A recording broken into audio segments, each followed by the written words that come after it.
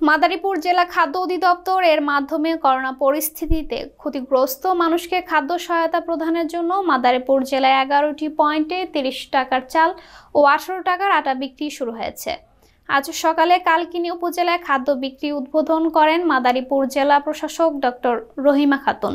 এতে প্রত্যেককে পাঁচ কেজি করে চাল ও আটা কিনতে পারবেন। শুক্রবার ছাড়া প্রতিদিন সকাল নয়টা থেকে দুপুর দুইটা পর্যন্ত মাস্ক পরে সামাজিক দূরত্ব বজায় রেখে ডিলার পয়েন্ট থেকে খাদ্য কিনতে পারবেন।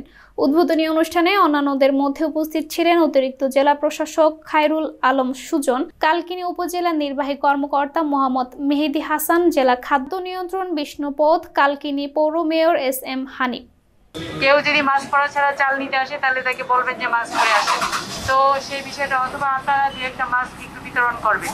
এই পদ্ধতিতে আপনারা এটা করবেন এবং আমরা কালকিনি উপজেলা এটা আজকে থেকে আমরা শুরু করতে যাচ্ছি এবং এটা চলবে ছয়টা পয়েন্টে যেটা দিয়েছে এবং আমি আশা করি এটা সুশৃঙ্খল মোতাবেক স্বাস্থ্যবিধি মেনে এই খাদ্য সামগ্রী বিক্রির প্রক্রিয়াটা চলমান থাকবে।